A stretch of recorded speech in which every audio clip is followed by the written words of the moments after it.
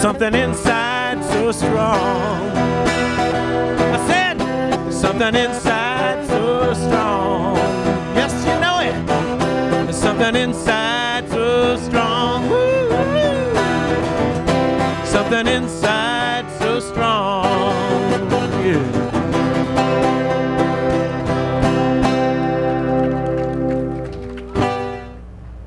When you make healthcare a priority, we make healthcare a priority. As legislators, when we hear your voices, when we receive your emails, when you come out and do a march like this, that gains attention.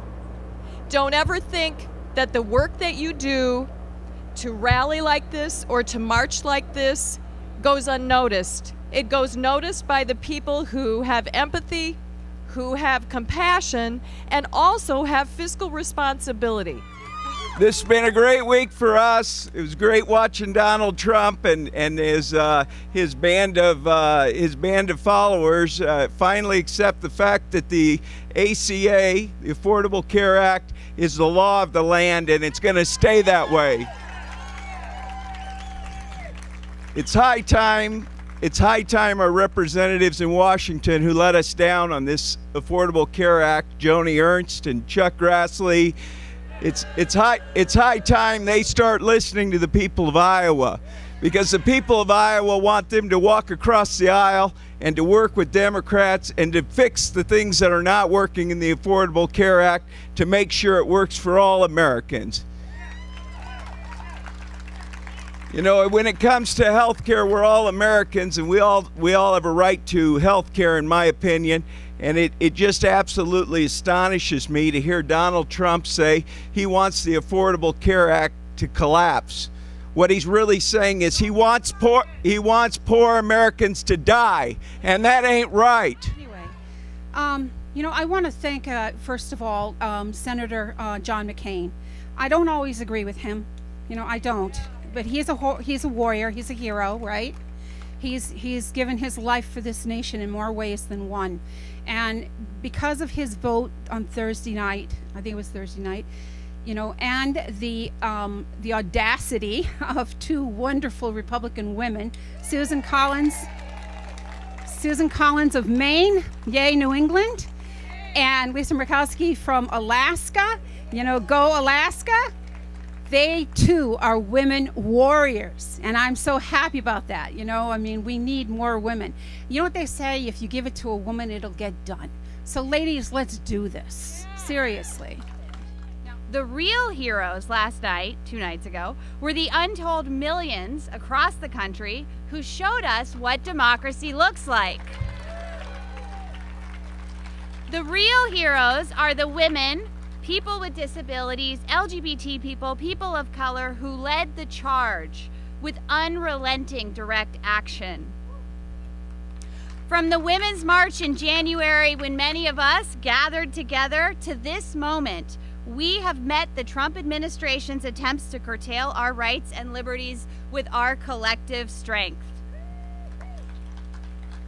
In town halls, rallies, and protests across the country, people declared with one voice that robbing millions of their health care insurance is wrong, blocking millions of patients from seeking care at Planned Parenthood health centers harms public health, and gutting Medicaid would be disastrous for people with disabilities.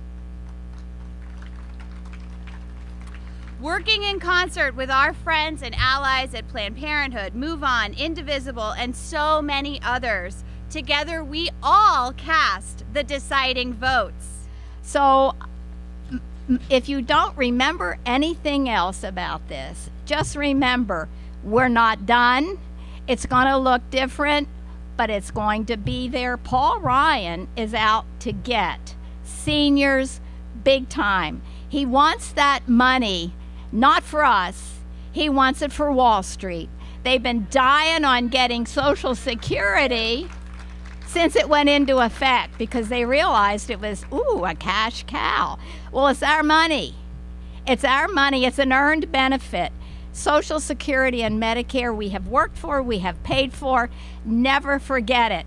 And I'm going to say to the Speaker of the House, Nevertheless, they persisted. But what I have is my voice. At the local, state, and federal level, whether it's fighting for health care, upholding the rights of our LGBTQ sisters and brothers, particularly those who have chosen to serve our country.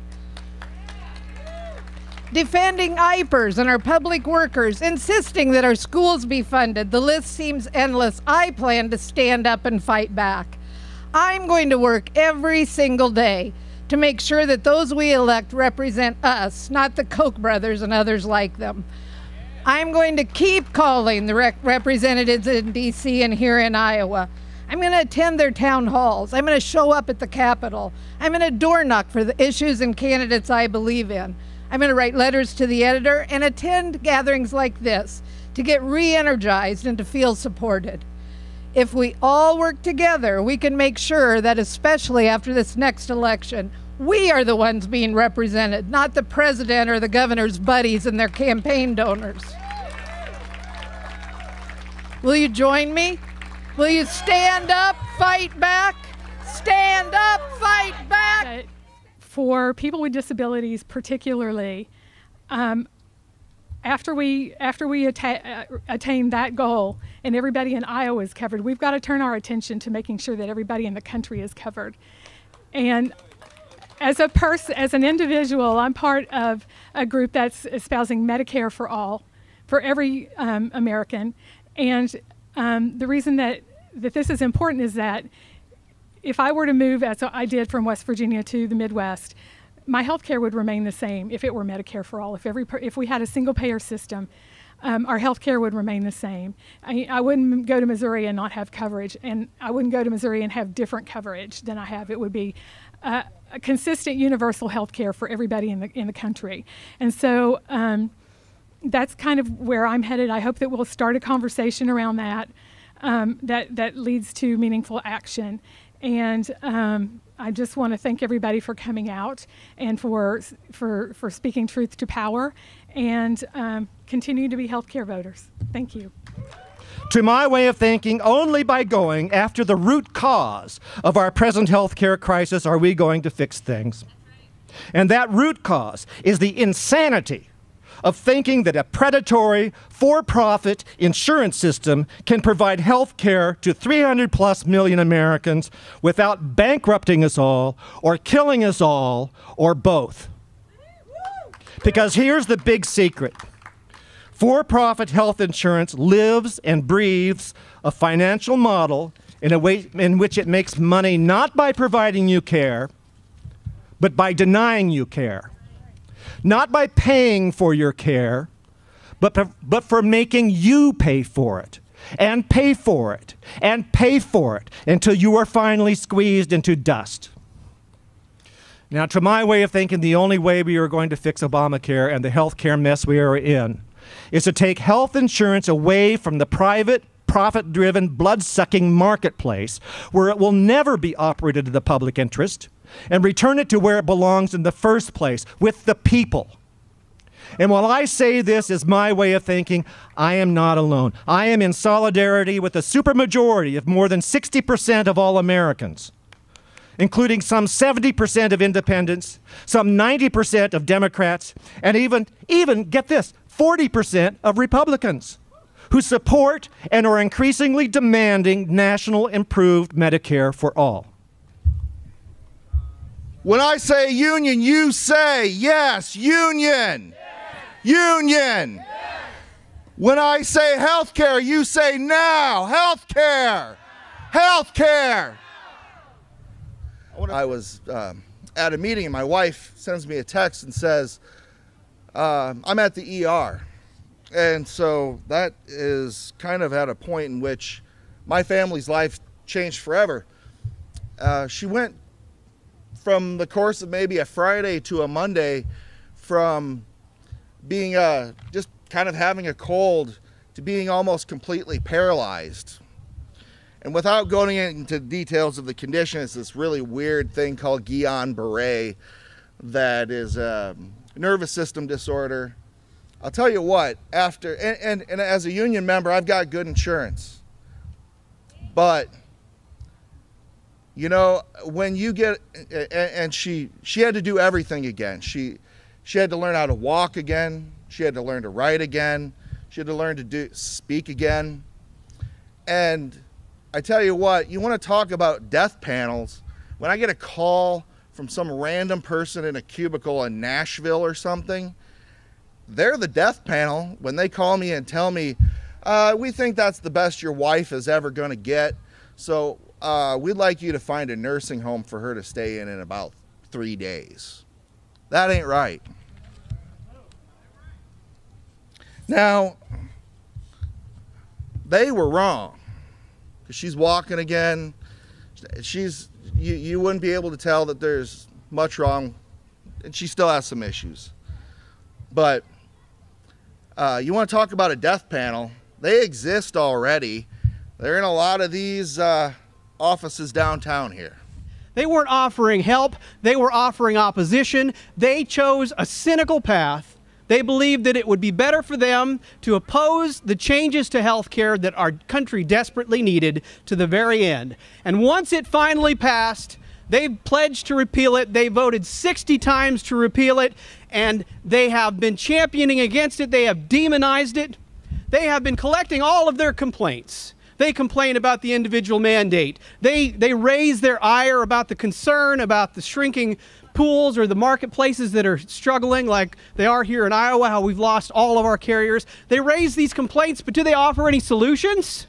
No, they have not offered any solutions. They are a party that have painted themselves into the corner. They have promised to repeal, and they have no idea what to replace it with. Senator McCain said that very thing this last week. He said, We don't have a plan, and I don't know if we ever will. And while we did achieve a huge victory this week, the push to repeal Obamacare and defund Planned Parenthood is over for now, and millions of Americans woke up yesterday to the relief that they will have health care. But we know this fight is not over. We are still in the throes of a health care crisis in our state. Just a month ago, Planned Parenthood closed four health centers. The successful Iowa Family Planning Network waiver ended, and 14,600 patients lost their preferred health care provider. Patients continue to call us for appointments with providers they can no longer see. Iowans need family planning, birth control, STD testing, and cancer screenings, but anti women lawmakers in the Iowa legislature have let them down.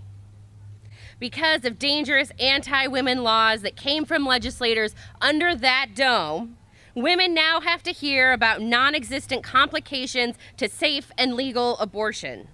Women that get terrible news after 20 weeks of pregnancy no longer get to make a private health care decision. As democratic socialists, we believe that what happens in the economy is actually, bear with me here, political. Who gets to act, who gets to eat or sleep indoors? Who gets insulin for diabetes? All that depends not on some chart with red or green arrows or the will of some invisible hand, but choices made by people with the power to make them. And in the case of healthcare right in this state, people who are acting with no regard for the millions of lives that they are set to ruin. When an insurance company denies life-saving, a life-saving mastectomy to a woman they found out has some skin condition, that executive chooses to put that money back in his pocket. That's a choice. So, what we are feeling and seeing as we come together to join hundreds of rallies and actions across the country is ordinary people discovering their power to make a different choice. You look around, you hear stories of, I think, organizations like ADAPT, where people were putting their bodies in line, getting dragged out of wheelchairs, and Mitch McConnell's office. You hear people yelling across this entire country, and you can't help but imagine just for a second what it would be like for all of us to live without that fear of how we're going to take care of ourselves. Why is business now, suddenly, this year, now, starting to pay attention to healthcare reform? And why is this group starting to say things like we need Medicare for all? Why has business been silent about this forever?